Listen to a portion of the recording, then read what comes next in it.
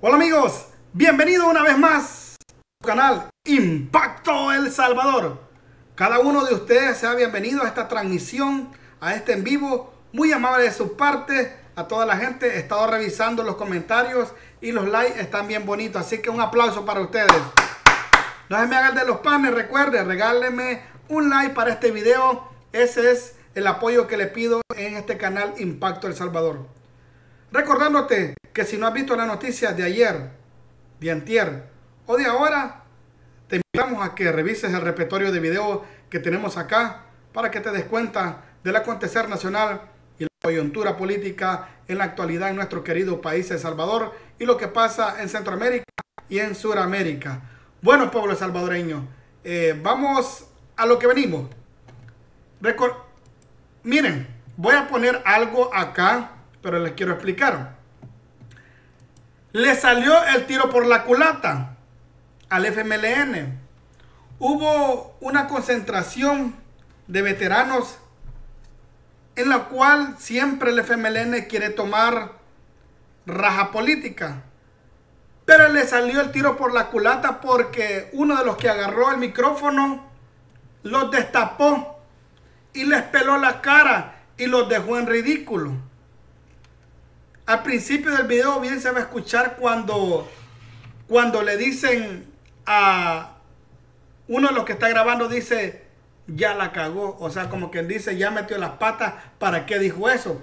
Pero antes, antes de todo eso, antes de ver el video, quiero que leamos esto.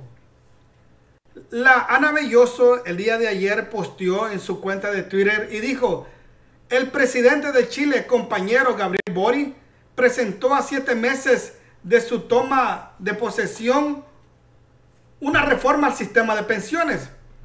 El gobierno de El Salvador está cerca de cumplir su cuarto año y no ha hecho más que promesas vacías.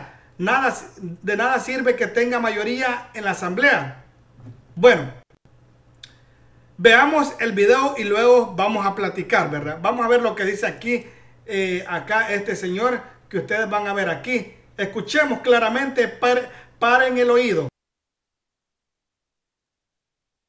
Quiero pedirle, quiero pedirle con mucha responsabilidad a este pueblo, a la Fiscalía General de la República y al presidente Nayib Bukele, quiero pedirle, quiero pedirle con mucha responsabilidad a este pueblo, a la Fiscalía General de la República y al presidente Nayib Bukele que hagamos una investigación responsable y condenemos a la comandancia general del FMLN que se burló y lo jugó la cara a todos nosotros.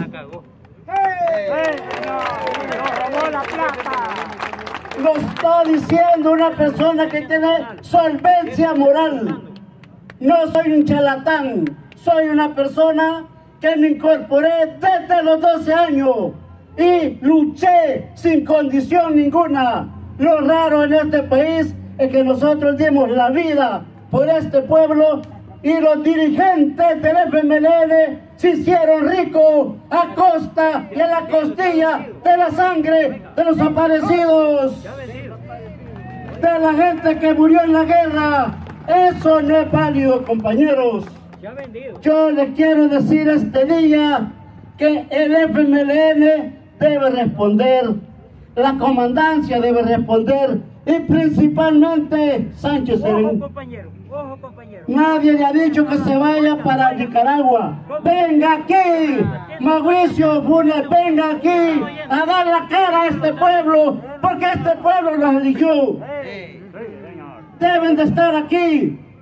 Y quiero también decir y lamento, en el 2000, en el, en el 2018, compañeros, en el 2018,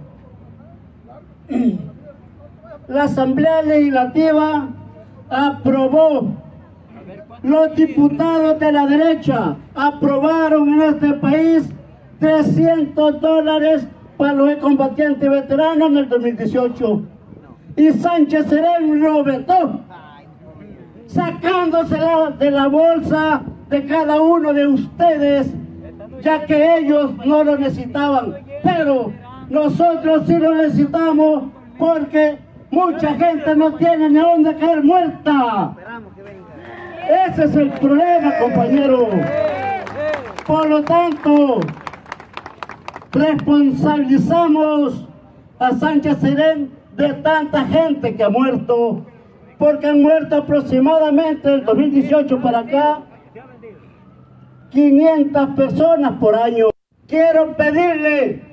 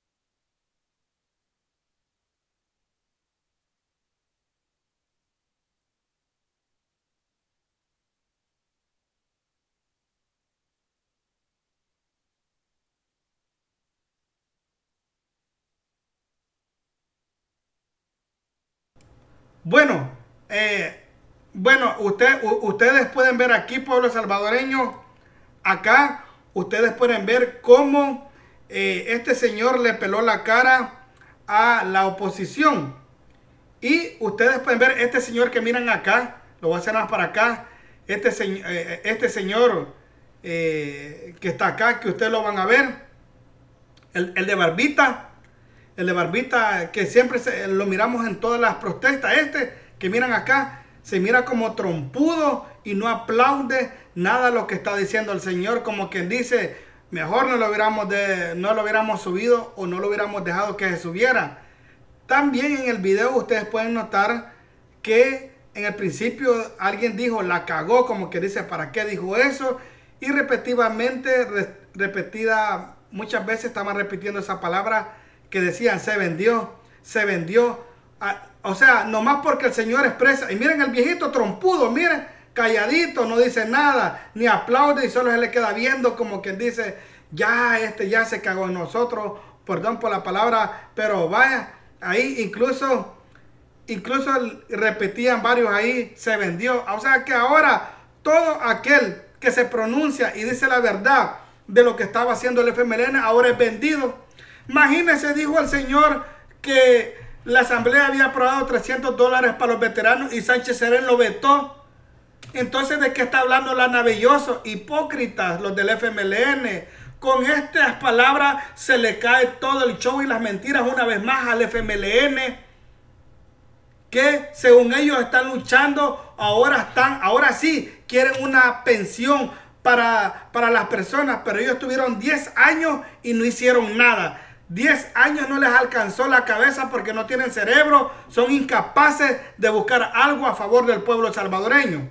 Ahora bien, ahora les voy a poner eh, una noticia que ya es algo vieja, pero para que se recuerden cómo es esta onda, que todos le quieren echar la culpa al gobierno. El FMLN le quiere echar la culpa al gobierno de, la, de las pensiones cuando ellos traicionaron al pueblo, dándole una puñalada, privatizando las pensiones. Y recuerden ustedes que al presidente Nayib Bukele no lo han podido mangonear. Recuerdan ustedes cuando el presidente de la República habló sobre la embajadora Jean Menes, que le pidió que por favor no procesara o que no, no, no se topara al tambo a funcionarios de arena. Recordemos ese momento y estas noticias. Miren. Presidente Nayib Bukele reveló que la ex encargada de negocios de la Embajada de Estados Unidos en El Salvador, Jim abogó por delincuentes. Pidió la liberación de personas que financiaron a pandillas e implicadas en crímenes de guerra. La encargada de negocios de la Embajada de Estados Unidos en El Salvador, Jim Mays, pasó de ser diplomática a intercesora de delincuentes. El presidente Nayib Bukele reveló que en la última reunión con Mays le pidió cuatro cosas. La liberación de Ernesto Mason, la no reelección del fiscal general Rodolfo Delgado, el compromiso de no tocar a Alfredo Cristiani y Douglas Meléndez, y finalmente detener los arrestos de las personas implicadas en los sobresueldos. A esas pretensiones el presidente Bukele respondió con claridad y vastos argumentos. Sobre Mason explicó que no tenía la facultad de liberarlo y que además era evidente que él sí había entregado dinero a pandillas y habían dos videos que lo comprobaban. Uno de ellos lo muestra entregando una montaña de dinero en efectivo.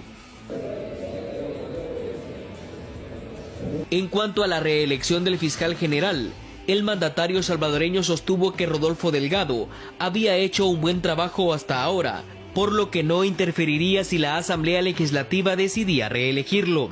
Mientras que sobre el blindaje al expresidente Alfredo Cristiani y al ex fiscal general Douglas Meléndez, el presidente Bukele aclaró que no tenía nada personal contra ambos, pero que tampoco iba a protegerlos. El presidente Nayib Bukele finalmente respondió a Jim Mays que no intercedería ante la fiscalía por ningún delincuente y que no presionaría personalmente por sus enjuiciamientos. Luego de la salida de Mays, el jefe de Estado recibió una solicitud de reunión de Brendan O'Brien, el nuevo encargado de negocios de la Embajada de Estados Unidos en El Salvador, que por cierto tuvo lugar este martes en Casa Presidencial. El presidente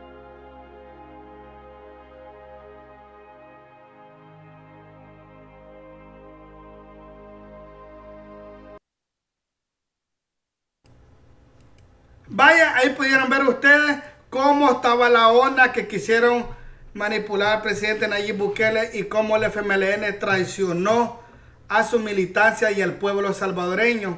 Y ahora se quieren dar golpes de pecho de que de verdad quieren al pueblo salvadoreño. Bueno, continuando nuevamente trayendo en este video a la diputada del partido Vamos, Claudia Ortiz, reconoció que las administraciones anteriores se repartían las instituciones entre los partidos políticos y que el gobierno del presidente Nayib Bukele pasó momentos adversos al no tener la mayoría. Vaya, al fin dijo algo bueno esta. A ver si no la regañan para que vean. Veamos lo que dice aquí la licenciada astronauta, arqueóloga, arquitecta, psicóloga de todo, Claudia Ortiz. Entonces realmente el tema de que en la Asamblea Legislativa se entrampen algunas cosas, se entrampaban cositas que implicaban una negociación de cuotas partidarias, por ejemplo, las elecciones de funcionarios de corte, fiscalía, eh, procuraduría, etcétera. Pero analizando los datos de votaciones, la mayoría de votaciones en asambleas pasadas eran eh, por un voto bastante mayoritario a favor porque siempre ha habido esa configuración, el partido de gobierno siempre tiene mayoría. Eh, la única, el único momento donde el partido de gobierno o el gobierno de la República ha tenido una situación más adversa, donde ha tenido que pelear más y que se le han contado más las costillas desde la Asamblea Legislativa, fue el periodo del 2019 al 2021, donde no había un partido de gobierno en la Asamblea Legislativa o con una fracción mayoritaria. Mire, para empezar, la señora dijo al principio algo bueno, que todos sabemos que los partidos políticos de Arena y FMN se peleaban las cuotas partidarias. Pero aquí ella acaba de mentir. Porque dice la señora de que ahora se le pueden contar las costillas al gobierno. Y la pregunta es, ¿y a los demás gobiernos por qué no se le contaban las costillas? Ahora también se le cuentan las costillas al gobierno. No solo por el hecho de que tenga la mayoría calificada en la asamblea, no quiere decir que no. Esta señora quiere contar una historia que ahora el gobierno hace lo que quiere y sin que nadie le diga nada o, que sin que nadie lo fiscalice.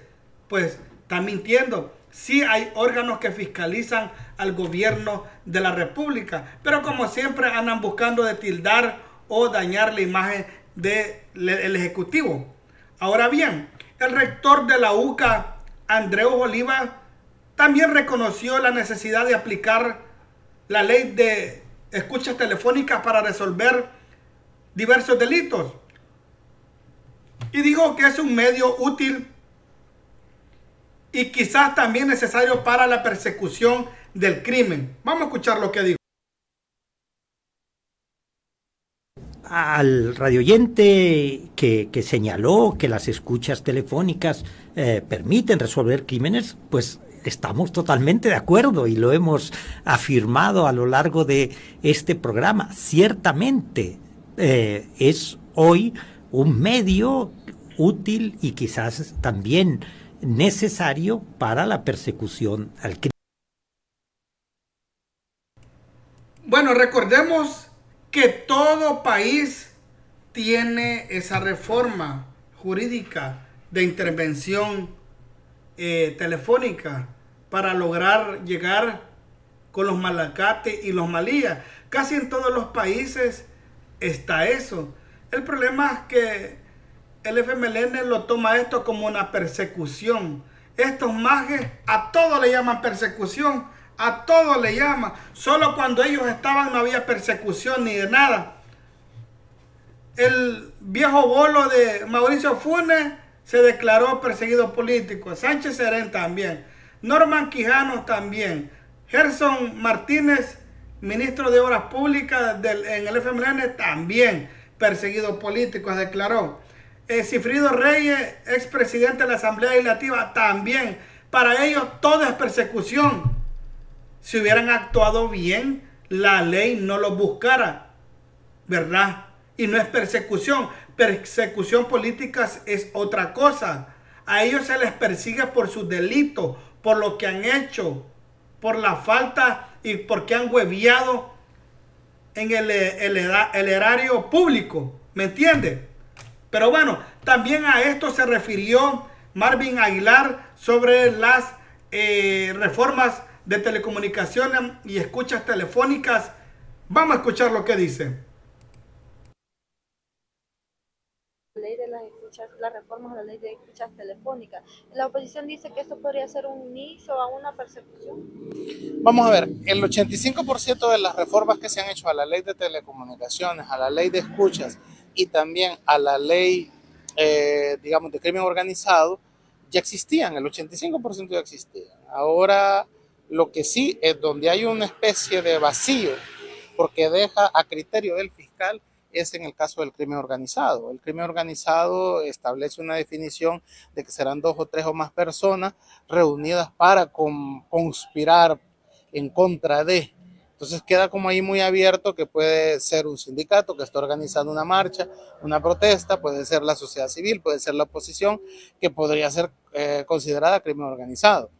Veremos si en el camino esa reforma no se utiliza para eso, porque eso va a ser evidente. Si, digamos, además de pandilleros, narcotraficantes, comienzan a aparecer presos sindicalistas o sindicatos o la oposición política. Entonces ahí sí habría un problema, pero en lo que respecta en el grueso, el 85% son eh, ya acciones que ya podía hacer la Fiscalía y que se han, digamos, se han incluido en estas reformas, pero que ya se venía haciendo.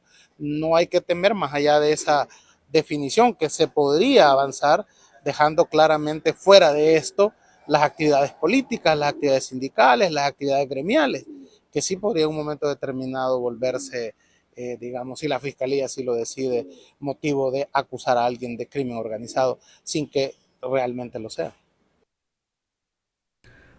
Bueno, ahí están las declaraciones de Marvin Aguilar correspondientes a este tema. Otro también, eh, eh, bueno, ya cambiando de tema, hablando del, del Tribunal Supremo Electoral, aquí Cristian Guevara publicó o compartió un video donde le puso, hasta tartamudos se quedaron cuando les dijo este ex magistrado del Tribunal Supremo Electoral que las sentencias de la sala se cumplen. Bueno, ya habíamos escuchado las declaraciones de un magistrado actual del Tribunal Supremo Electoral. Ahora lo vuelve a repetir un ex magistrado. Ya van a decir que es vendido. Porque ahora el, este viejito pellejudo Ronald Umaña, ahora para él todos son vendidos. Vamos a escuchar lo que dice aquí. Y ustedes recordarán eh, todo el impacto que tenían las sentencias de la sala. Y ustedes recordarán eh, todo el impacto que tenían las sentencias de la sala anterior. Tenía un gran impacto. Entonces, cualquiera le decía a uno en la calle, si no cumple la sentencia de la sala, te van a, aplicar un prevaricato, entonces te pueden ir a traer. Entonces decía, bueno, ya eso, con, con, esas indicaciones, pues quién, eh, además, todos sabemos y nuestra formación eh, eh, en la carrera de derecho es que las sentencias de los tribunales, independientemente que sea un tribunal de paz de primera instancia o, la sala en lo constitucional o de lo contencioso, se cumplen. Entonces, y, y, ahí, y ahí va a ser muy difícil que encuentre uno un funcionario que diga lo contrario, que se anime a lo contrario. Entonces yo estaba viendo lo que dijo Noel Oriana y rápidamente dijo, no, las sentencias de la sala se cumplen y se cumplen. Pues sí, pero dice Miguel o sea, se lo, no, no, no, o sea, no se complicó, es decir, pero es un argumento válido, decir, miren, las, las sentencias de la sala se cumplen, independientemente esté de acuerdo o no, mejor Independientemente que esté de acuerdo o no, porque, porque ahí eh,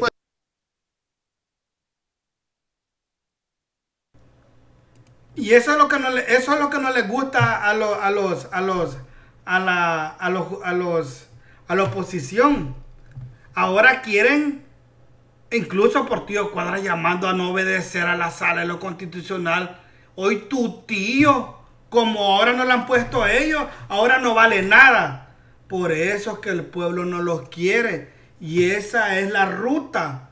En el 2024, pueblo salvadoreño, no se les olvide, Arena y FMLN, vamos nuestro tiempo nunca más.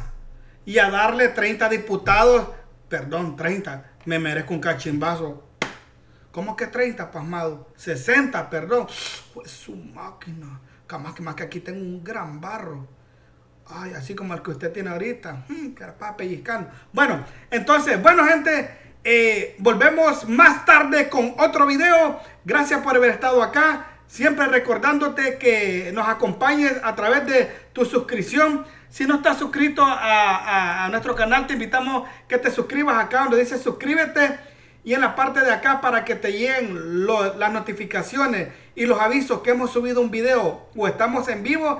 Aquí en la campanita le pones todas, la primera opción, activar todas las notificaciones para que estés al tanto del acontecer nacional y la coyuntura política. Así que no me resta más decirle que nos vemos al rato con otro video y ¡Salud, Lulu! ¡Nos vemos!